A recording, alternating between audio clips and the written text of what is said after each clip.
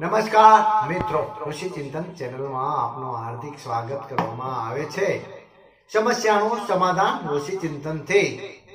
આજની સમસ્યા છે, ખરાબ ટેવો અને દુષ્પ્રવૃત્તિઓને કઈ રીતે છોડી શકાય?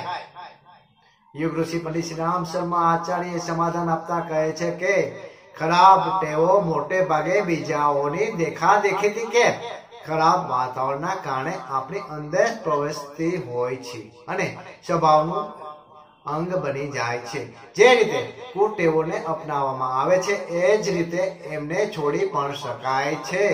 સંપર્ક, વાતાવરણ, અભ્યાસ વલણ વગેરેને જો બદલી નાખવામાં આવે, તો થોડાક દિવસ હેરાન કરીને તે કુટેવો છૂટી જાય છે.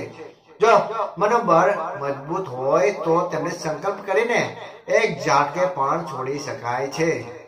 બહારની બુરાઈઓનો સામનો કરવાના તો અનેક ઉપાય છે, પરંતુ આંતરિક દુર્બળતા સામે ટક્કર લઈને તેમને પછાડવાનો મનાશ્વરી માણસ માટે જ શક્ય છે.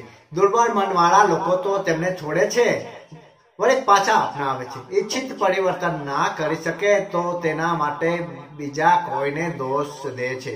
સાચી વાત તો એ છે કે આત્મ સુધી માટે સત પ્રવૃત્તિઓને અપનાવવા માટે દ્રઢ નિશ્ચય સિવાય બીજો કોઈ ઉપયોગ નથી.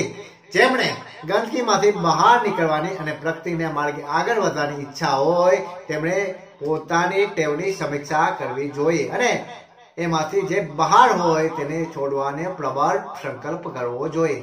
પોતાના ભાગ્યનું નિર્માણ કરનાર દરેક મહામાનવે આ જ ઉપાય અજમાવવો પડ્યો છે.